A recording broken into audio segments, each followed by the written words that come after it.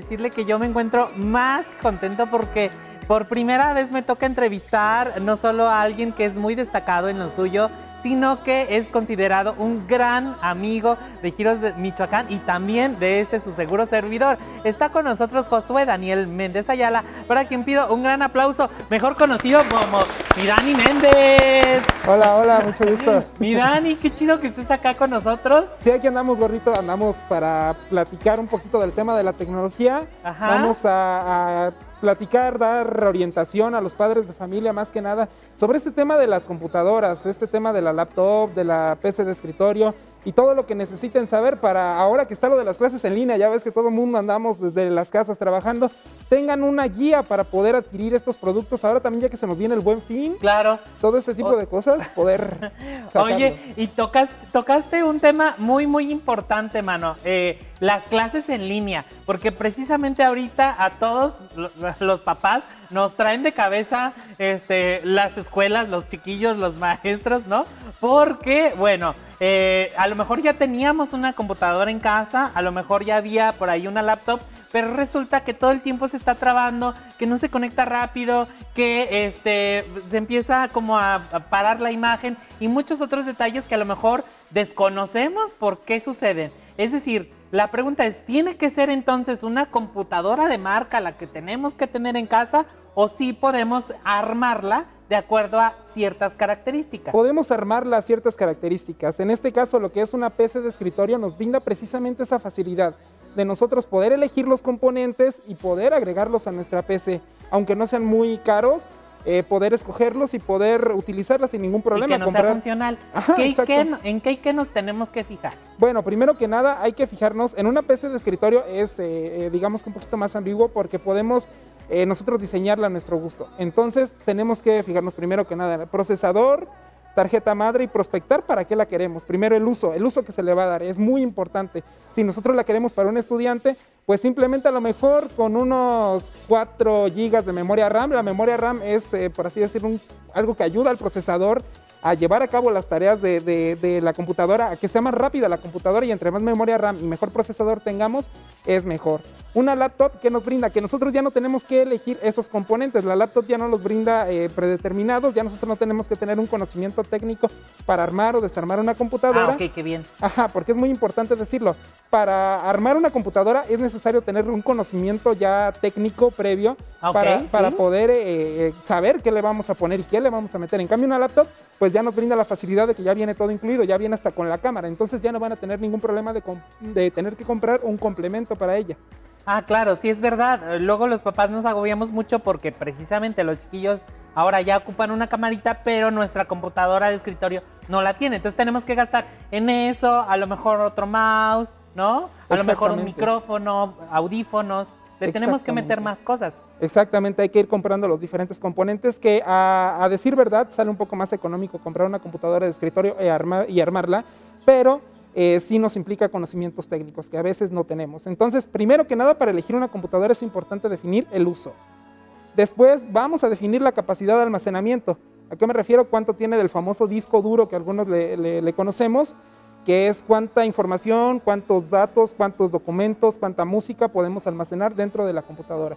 Posteriormente vamos a checar la parte del procesador, que ahorita vamos a hablar un poco más a fondo. La memoria RAM, que ya les comentaba anteriormente.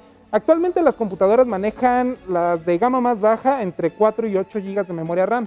Esto precisamente nos habla de la velocidad que, que requieren los equipos actualmente. También pues la, marca es importante porque por ejemplo tenemos HP, tenemos Lenovo, tenemos también las Mac y todo eso nos implica también una cuestión de costo eh, que, es eh, importante resaltar. También está la parte de los sistemas operativos, que tenemos dos sistemas operativos, que uno nos brinda una cuestión, el otro nos brinda eh, más velocidad, uno nos brinda mayor estabilidad y es más comercial y tenemos más programas que poder adherirle. Oye, yo estoy impresionado porque además estoy como los papás en casa, ¿no? Como que estamos hablando eh, lenguajes que para los papás es desconocido. ¿Qué tan recomendable es ir a comprar la computadora con todo y el chiquillo para que nos sirva de traductor? Porque ahora los niños le entienden más. Es conveniente, pero hay unos que unos niños que abusan, la verdad Ajá. abusan, porque quieren una PC para jugar videojuegos, para eh, estar platicando con los amigos además. Entonces, eh, motivan a los papás a que compren un equipo que les queda sobrado, muy sobrada Ok. las necesidades que tienen. Porque los chiquillos quieren eh, más capacidad, digamos, en tarjeta de video o en algunas otras cosas para que les sirva para el juego. Exactamente, o sea, de una, de una laptop que puede costar 9 mil pesos, nos brincamos a una que puede costar 25 mil pesos. Oh, wow. O sea, es, es eh, complicado. ¿Cómo evitamos repente. que los niños que le saben más o que, o que manejan ese lenguaje de la computación, cómo evitamos que nos chamaquen? Pero a la vez nosotros como papás, si queremos cubrir sus necesidades de lo que ocupan en la escuela, ¿qué hacemos? ¿En qué nos fijamos? Asesorarse, primero que nada, eh, asesorarse con una persona que tenga conocimientos. Bien. Si es necesario con una empresa, eh, platicar con una empresa, algún conocido que tenga un poquito más de conocimientos y pueda orientarnos y pueda también acompañarnos quizás en el momento a realizar la compra. Pero eh, nosotros si vamos con el, con el niño, podemos fijarnos a lo mejor para un estudiante con un procesador Intel i3, que es como el que estamos viendo allí. Ajá, estamos con viendo en ese pantalla, queda, sí. queda perfecto para un estudiante. Con ese queda Ok. perfecto para un estudiante. También tenemos la marca AMD, que está sacando una, una versión que se llama Ryzen, Ryzen 3 en este caso, que eso queda perfecto para un estudiante. ¿Por qué? Porque cumple con, las, eh, con, la- con el rendimiento que se requiere para las tareas. Entonces, si nosotros vemos una calcomanía en la laptop o en la PC de escritorio que diga Intel i3, podemos estar convencidos que ya empezamos bien, a lo mejor para un tema estudiantil, niños de prepa, de, de primaria, de secundaria, incluso de preparatoria, puede alcanzarles un buen rendimiento. Posteriormente ya vamos a una gama media, que ya comenzamos a ver los famosos Intel i5 o los Ryzen i5 de AMD. Como les digo, es fácil de identificar porque viene con una, con una calcomanía en la carcasa o, o abajito del escritorio de las laptops, ahí viene una calcomanía que les dice qué procesadores. Entonces, por esa parte comenzamos bien. Eh, este, esta gama media se recomienda para ya estudiantes que se van a dedicar un poquito a la parte del diseño, de edición de video, que comienzan a ver cosas muy básicas de este tema y con eso pueden comenzar. Pero ya para un niño de primaria, de secundaria, la verdad les queda un poquito sobrado. Obviamente, si piensan estudiar eso, en un futuro les va a servir, pero actualmente les queda un poquito, un poquito sobrado. ¿Cómo cuántos años o meses nos dura eh, o nos aguanta una, una computadora con estas características que más o menos nos, nos orientaste? Es decir, con, con esa computadora vamos a tener para no cambiarla en dos años o más. Bueno, la tecnología va cambiando muy rápido, pero una computadora bien cuidada, eh, dándole un mantenimiento, dándole un buen trato, puede llegar a durar hasta 10 años. ¿Ok? Bien cuidada y dándole un buen trato. Pero si la tratamos mal, si la maltratamos, la dejamos caer, pues no te va a durar más de dos años, un año.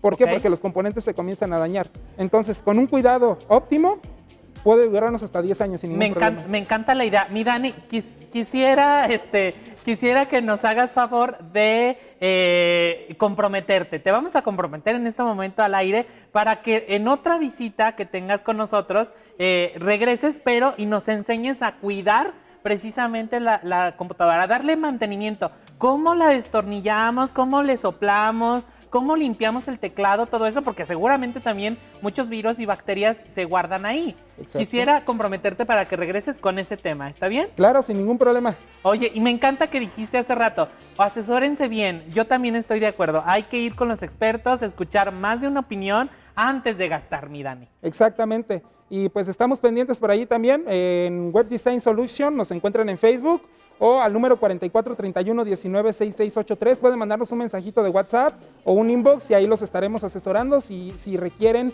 o, o quieren comprar un equipo en este momento para los niños que están tomando clases en línea o hasta para los papás que están trabajando en línea y que requieren una computadora, eh, los podemos asesorar. Tú los asesoras sin, Sin problema. ningún Me problema. encanta, vuelve a repetir tu teléfono porque estoy seguro que muchos papás ahorita te estamos viendo así como una luz en el camino. Claro, es 4431196683 o búsquenos en Facebook como Web Design Solutions. Ándele, ya lo sabe, señora bonita, señor, pues hay que asesorarse antes de eh, tirar su dinero. Gracias, mi Dani. Exactamente. Mi Dani Méndez aquí en Giros Michoacán, es un placer. Y ahora nos vamos del otro lado porque ya está lista mi Katy allá en moda.